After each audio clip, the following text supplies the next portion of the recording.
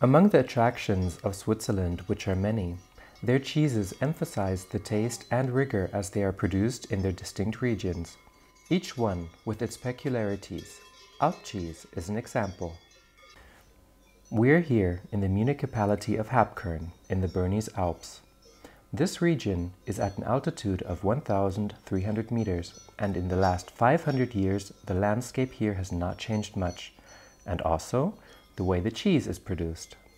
For about three months during the summer, the bucolic region serves as a pasture for the small flock that feeds on natural pasture or specific herbs that grow in the Alps.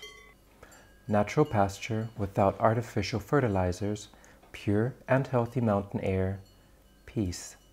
These attributes are responsible for the milk quality of the herd and for the uniqueness of the Alp cheese. The technology used in the production of cheese is still practically the same applied for centuries. Milking is done twice a day and cheese production is done here. The time between milking and the manufacturing process must be no later than 18 hours. Angela and Simon work manually on the milking and production of Alp cheese. This technique for the production of Alp cheese dates back to 1548. Today, the work has incorporated some advances, but the recipe is still practically the same, passed from generation to generation. As a rule, the chilled evening milk is partly skimmed to produce a fat content of at least 45% in the final product, then mixed with the morning milk. The milk is slowly stirred manually and on wooden fire. Gradually, a natural enzyme coming from the stomach of calves coagulates the mixture and reaches the right point, repeating the formula taught by the ancestors. The whole process takes about half an hour until total coagulation.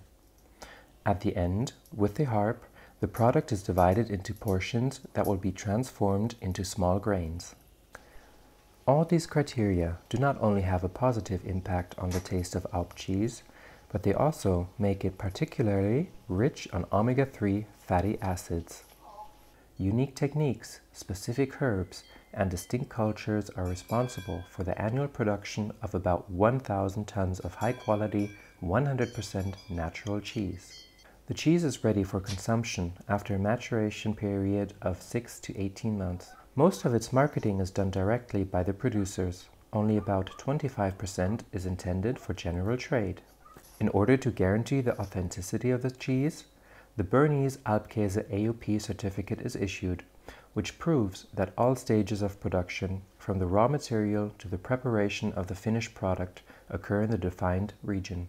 Hans-Peter Graf is a professor and consultant for the production of cheese and responsible for the certification. He regularly visits the productions to follow the process. Here, he accompanies Angela in one of the stages of the process, the storage of the product.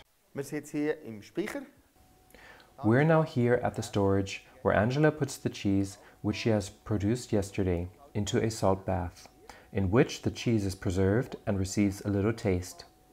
Tomorrow, the cheese comes out of the salt bath, then laid onto the rack and is groomed daily with weak salt water.